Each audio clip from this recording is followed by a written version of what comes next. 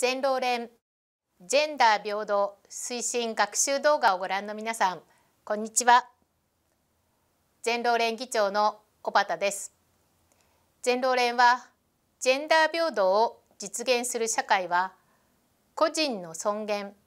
法の下の平等両性の本質的平等を保障する日本国憲法を生かした社会であると考えています。その立場から考えると現実はあまりにもジェンダー格差ジェンダー差別が広がる社会になってしまっています。そこを乗り越えていく取り組みが労働組合に強く求められていると考え2022年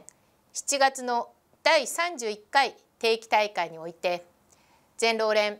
ジェンダー平等宣言を採択しました。全労連ジェンダー平等宣言ではジェンダー平等が労働運動と社会に根付き誰もが差別と抑圧から解放されることを全労連と全労連加盟のすべての組織は目指しますとしています。本日はこの立場から労働者の実態ジェンダー格差差別を解消するための全労連の取り組みと今後の展望についてお話しさせていただきます。ジェンダー平等を目指す取り組みの課題を明らかにするためにジェンダー格差やジェンダー差別により苦しんでいる女性労働者が今どのような状況に置かれているのか実態を見ていきたいと思います。政府財界はこの間一貫して雇用の流動化政策を進めてきました。その下で正規雇用から非正規雇用への置き換えが急速に進められてきました。2022年9月の労働力調査によれば労働者全体の37%男性労働者の22%女性労働者の54%が非正規雇用労働者です。コロナ禍による影響はとりわけ女性の非正規雇用労働者を直撃しました。総務省の労働力調査によれば新型コロナウイルス感染拡大が国内で始まった2020年1月から3月期に非正規雇用労働者は32期ぶりの減少に転じ前年同月比9万人減となりました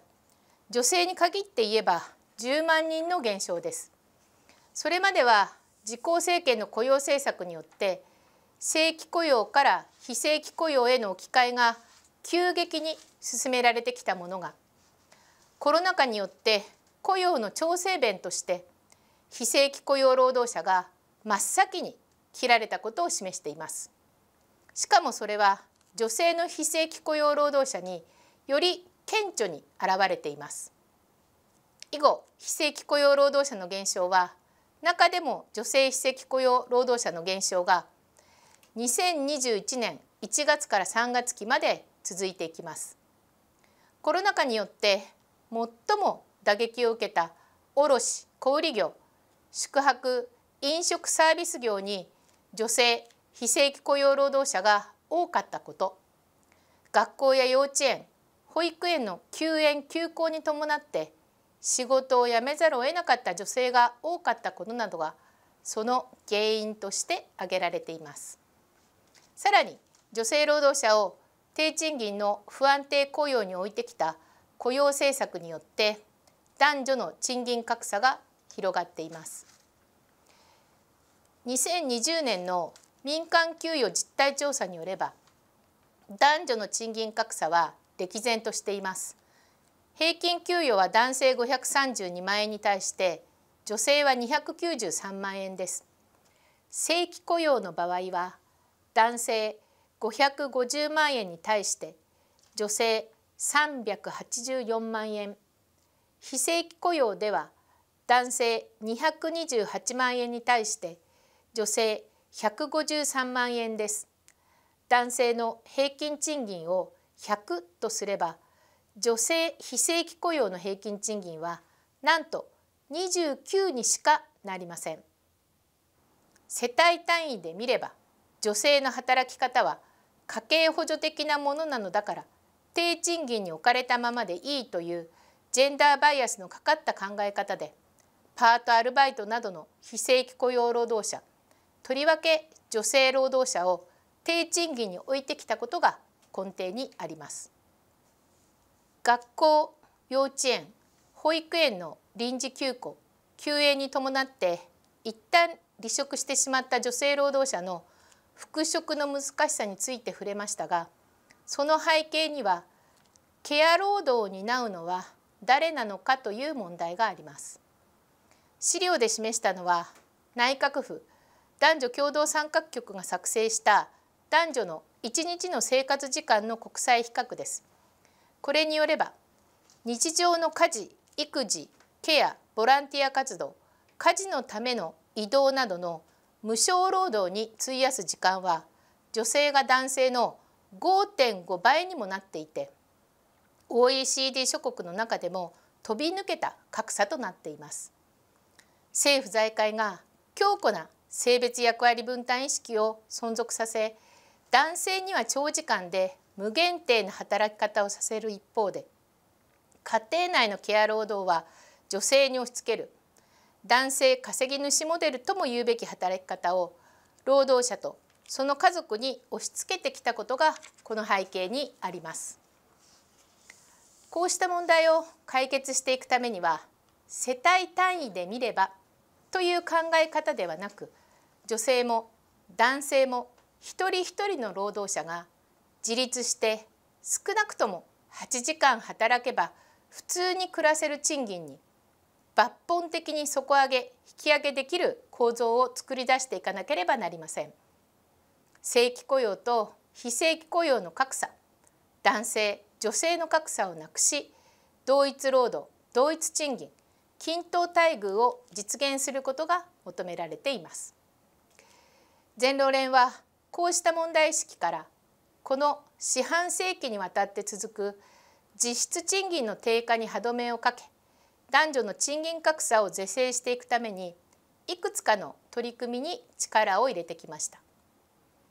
一つが全国一律最低賃金制度の確立。最低賃金1500円を求める取り組みです。非正規雇用労働者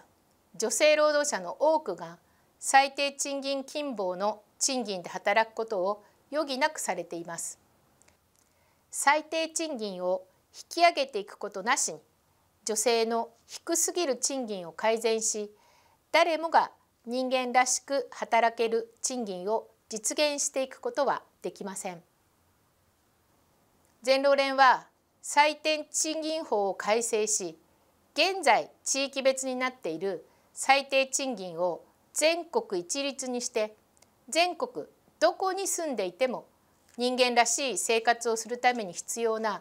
1500円以上に引き上げることを求めて運動を強めているところです。2つがコロナ禍にあって私たち労働者国民の命暮らしを必死で支えているエッセンシャルワーカー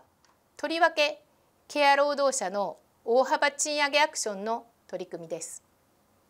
エッセンシャルワーカー。ケア労働者は女性が多いわけですが家事労働的な仕事だから低い賃金でいい。こういう考え方のもとで異常な低賃金に置かれてきました。コロナ禍にあっても人の命を預かり社会を維持し続けている労働者の賃金が女性や非正規雇用が多く差別的に低く抑えられてきました。ここを変えていくことは男女の賃金格差を解消し労働者全体の賃金を大幅に引き上げ底上げしていくことにつながります。22春闘から秋季年末闘争そして23春闘においても不十分な政府の制度の抜本的改善を求めてケア労働者賃上げアクションに引き続き取り組んでいるところです。女性活躍推進法の改正によって2022年7月から男女賃金格差公表制度が開始されました。労働者301人以上の事業主は事業年度の実績を3ヶ月以内に公表することが義務付けられたものです。男性に対する女性の賃金平均を割合で公表する必要があります。3月末決算企業は6月中の公表が求められています。しかしこれはあくまでも賃金の平均を割合で示すものであって実際の金額が示されるわけではありません。また301人に満たない事業主には公表が義務付けられていません。日産春闘において労使交渉を通じて公表の内容について詳細を明らかにさせるとともにさらなる改善を求める要求を行い積極的に活用するようにします。労働時間の短縮の課題もジェンダー平等実現のために重要な課題です。先ほども見たように日本企業が長時間労働で勤務地職務の無限定性など生活の100%を会社に捧げられる労働者を正社員にふさわしいとしてきた。男性稼ぎ主モデルの下でその働き方を支えるために女性にケア労働が押し付けられ女性が働き続けることができない状況ひいては男女賃金格差をもたらしてきました。男女ともに働き続ける労働条件を確立し共に家族的責任を果たしていくことができるようにするためにも大幅賃上げと一体に労働時間短縮の実現が求められています。全労連は23春闘において労働時間短縮の課題を要求の柱に位置づけて取り組みを進めています。男女賃金格差を解消し均等待遇を実現し男性には長時間労働女性には不安定雇用を押し付ける男性稼ぎ主モデルから脱却するためには女性も男性も全ての労働者が人間らしく暮らせる賃金が保障される構造を作り出していかなければなりません。そのためには現在の世帯単位の考え方ではなく個人の自立を支え誰もが仕事と家族的責任の両立が図ることのできる賃金労働法制社会保障そして税制への転換が求められています。全労連は賃金税社会保障一体に個人単位化を目指す政策づくりを進めていきます。仕事の場におけるジェンダー平等を進めるためにはハラスメント根絶の課題は欠かせない課題です。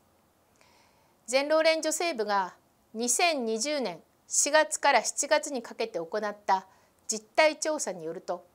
職場でハラスメントを受けたことがある人はおよそ3割に上っています。2019年6月の ILO 総会において仕事の世界における暴力とハラスメントの撤廃に関する条約が圧倒的多数で採択され2021年6月に発効しました。条約によって誰もが暴力とハラスメントのない仕事の世界に生きる権利が国際基準で保障されることになりました。条約加盟国には条約の定義に適合するように暴力とハラスメントを法律で定義し禁止することが求められています。また条約ではジェンダーに基づく暴力とハラスメントの根本原因やリスク原因としてジェンダーに基づく固定観念複合的及び横断的形態の差別ジェンダーに基づく不平等な力関係が挙げられています。ハラスメントを根絶する取り組みそのものがジェンダー平等実現の取り組みとなるのです。日本政府は条約には賛成しましたが残念ながらまだ条約を批准はしていません。国内法では事業主のハラスメント防止策を義務化することまでにとどまっています。政府に条約の批准を求めるとともに現行法を活用しつつ国際基準に基づいたハラスメント根絶の運動を強めていくことが求められています。ここまで労働者の実態を踏まえた仕事の場におけるジェンダー平等実現のための課題と取り組みについて見てきました動画をご覧の皆さんにもぜひ自分の職場でジェンダー平等の視点に立って考えた時にここは見直した方がいいこんなことをしてほしいなどの要求を思い浮かべていただきたいと思います。そしてその要求の当事者は誰なのか。価値観を共有して一緒に要求実現を目指すことができる人は誰なのか。どんな取り組みをしたらそれを実現することができるか。